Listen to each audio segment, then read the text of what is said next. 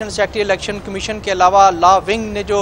शिरकत की law wing ने सुप्रीम कोर्ट के जो गुजशत रोज़ का फैसला है, उस पर ब्रीफिंग भी दी है और इजलास में खैबर पख्तनख्वा और पंजाब के इंतबात से मुतलिक सुप्रीम कोर्ट के फैसले पर गौर किया गया है और ज़राए के मुताबिक इलेक्शन कमीशन का जो खैबर पख्तनख्वा और पंजाब के इंतबात सुप्रीम कोर्ट के कोर्ट के हुक्म की रोशनी में करवाने का जो फैसला सामने आया है, जो आज का अजलास हुआ है। इसके अलावा इलेक्शन कमीशन के अजलास इजलास में दो सूबों की मुजवजा तारीखों पर भी मुशावरत की गई है और इंतबी शेड्यूल चौवन रोज़ 54 डेज़ रखने पर भी इतफ़ाक़ किया गया है और इंतबी तारीख़ों में जो है रमज़ान और ईद को भी मद्दनज़र रखा गया है कि रमज़ान और ईद के दिनों से थोड़ा अवॉइड किया जाए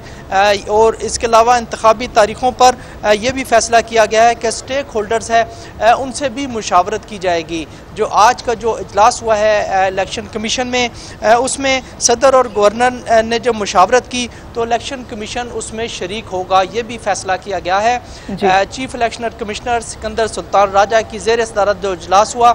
उसमें बड़ा फैसला यह है कि सुप्रीम कोर्ट की रोशनी में जो है तमाम जो है इलेक्शन करवाने का जो फैसला किया गया है और मुजवज़ा तौर पर जो है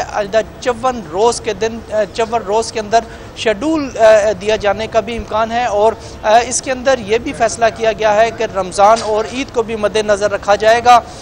ये आज जो इजलास हुआ उसमें ये एक बड़ी डेवलपमेंट देखने में सामने आई है। मुमकिन तौर पर इलेक्शन कमीशन इसका बाबा तौर पर एलामिया भी जारी करेगा। इंतबात सुप्रीम कोर्ट के हुक्म की रोशनी में फैसला किया गया है। पंजाब और खैबर पख्तनख्वा के लिए मुजवजा तारीखों पर मुशावरत होगी। इलेक्शन कमीशन का इंतबी शेड्यूल चंवन दिन के रंग का रखने पर इतफाक किया गया।